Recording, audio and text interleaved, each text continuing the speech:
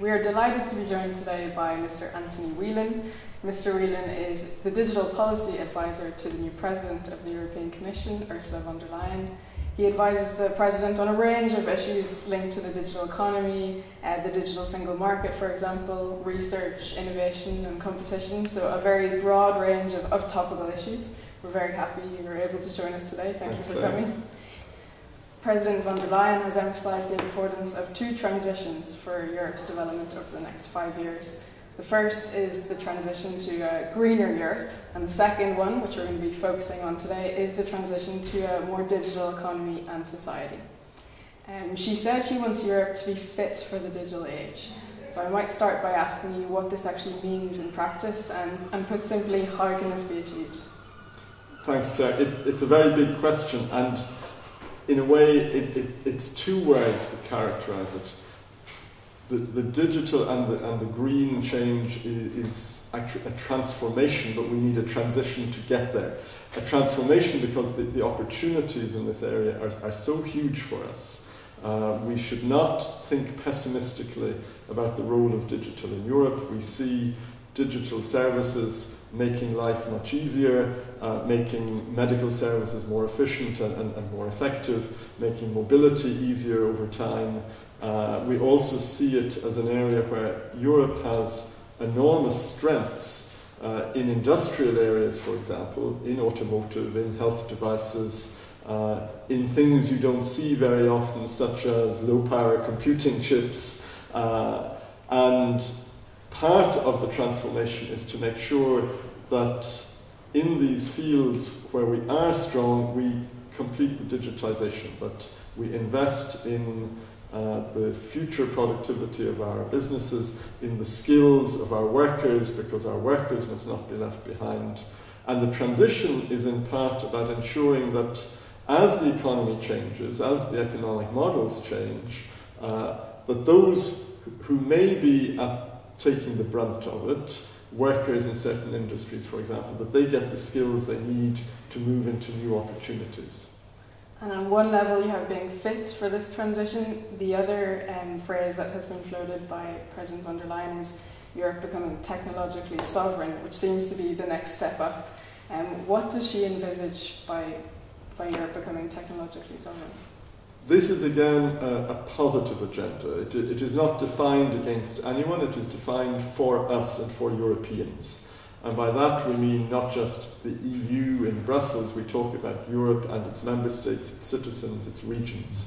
What it means is that we should actually have the capacities in Europe, the ecosystems, the skills, the research centres, the high performance computing centres that will drive future AI and data analytics, that we have these necessary infrastructures and tools for our very bright people, our, our, innovative startups and SMEs, as well as big industrial companies, to complete the transformation and to be able to draw on those capacities, not just as regards security, which is of course very important, but as regards the building and maintenance of prosperity and our social and economic model. And touching on that, what role will uh, a more coherent EU industrial strategy play in, in achieving some of the objectives you've just spoken about? Well, here the, the EU added value is in bringing together the efforts of our member states uh, and of our companies.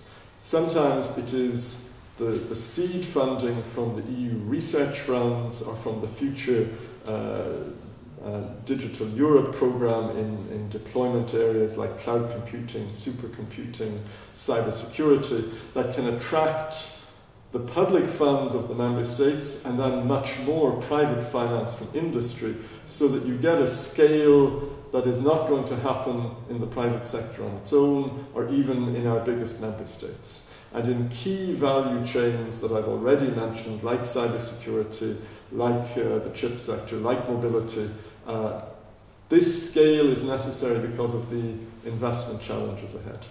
And just to finish then on the challenges, um, Europe is sometimes thought of as a bit of a laggard when it comes to the digital economy, research, etc. What are the main challenges that President von der Leyen and the rest of the EU face in achieving some of the ambitious objectives you mentioned? We, we can't underestimate that there are problems that need to be addressed. We have a level of investment in, in research and development, in digital and more generally, uh, which is not enough to keep pace. Um, we see in the overall prominence of digital in the economy that there are not many leading European players if you look at things like uh, market valuation. On the other hand, we have an awful lot of strengths. If you take a, a, a new area like artificial intelligence, the amount of academic publication from Europe beats that of other regions. So we have things to build on. If we take 5G communications, uh, more than 50% of the patents are held by European companies and, and researchers. Or if we take the, the, what is sometimes called the oil of the digital economy, namely data, the amount of data being collected uh, is increasing almost exponentially.